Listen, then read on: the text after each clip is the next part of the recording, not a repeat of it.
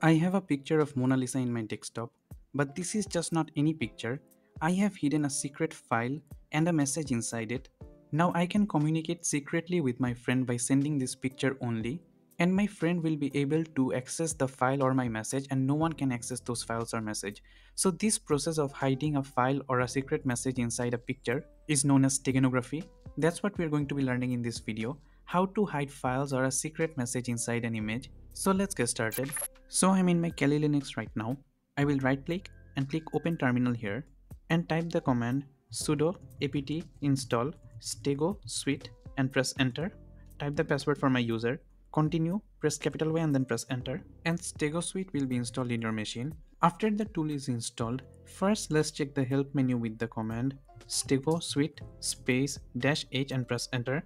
In the help menu, I can see that I have the option to use the graphical user interface. In this video, I'll be using the graphical user interface because I have already made a video on how to embed a file onto a picture with command line. That's why I'll be using the GUI.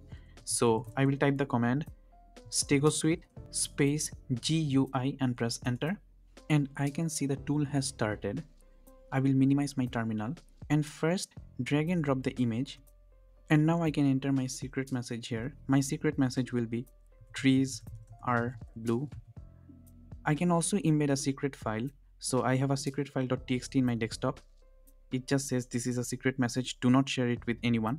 So I will drag and drop the file and the file also has been embedded inside this image. I will give a password. I will give the password 123 and click on embed and the embedding has been completed. I can see that there is a new image inside my desktop which is monalisa underscore embed.jpg. So now I will quit my StegoSuite tool because I do not need this tool anymore.